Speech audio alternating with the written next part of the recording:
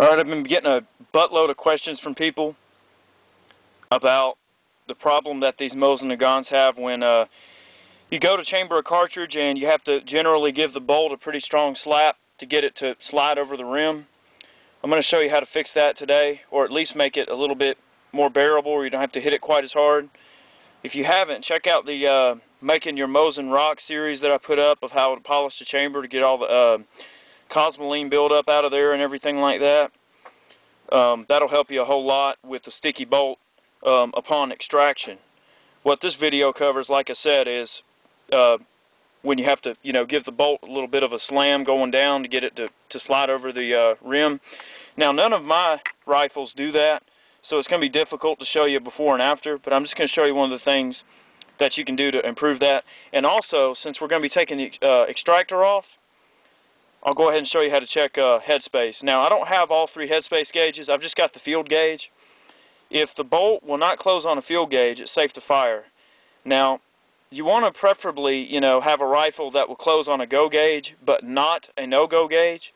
But if a rifle does happen to, um, if a rifle will close on a no-go gauge, but will not close on the field gauge, it's still safe to fire.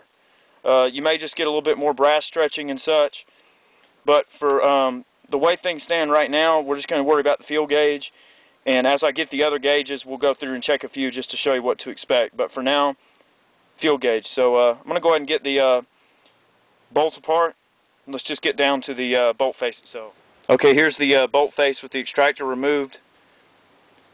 Um, you might run into some problems getting the extractor out because sometimes the steel is a little thin or brittle and if you're careful, if you're not careful, you can bend it a little bit.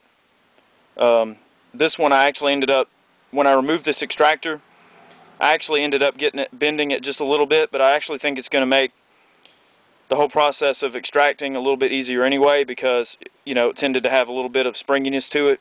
So you can always bend the extractor out just a little bit to see if it'll have a little bit less tension when you go to chamber it, but we'll see in a second. Um, so you've got this extractor off, and just so you know, you can see that the bottom of this uh, bolt face is kind of dovetailed right there.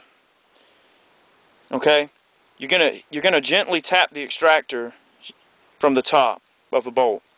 Okay, I didn't film that process, but you just give it a little bit of gentle persuasion, like I said, from the top, and it'll slide down out of that dovetail.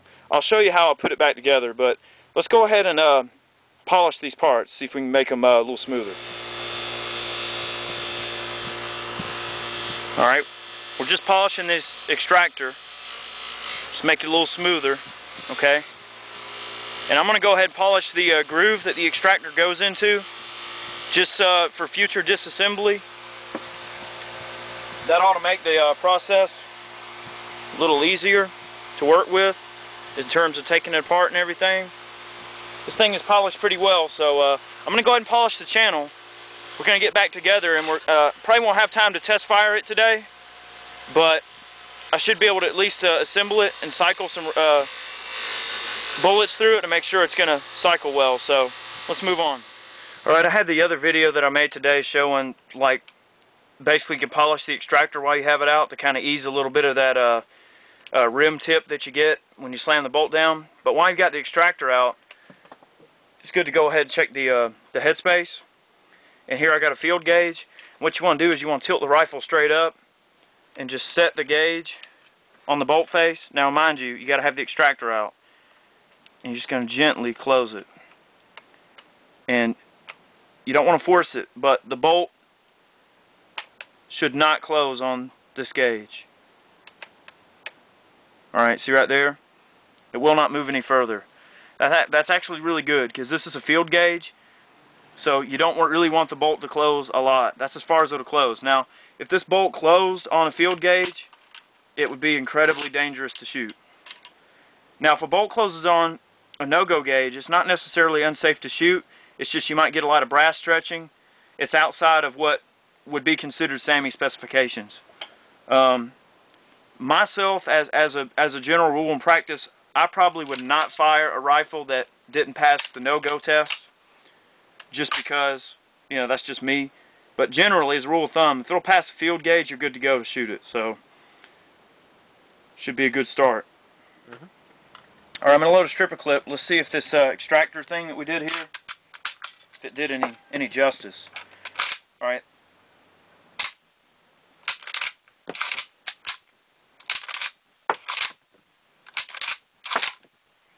Seems pretty smooth.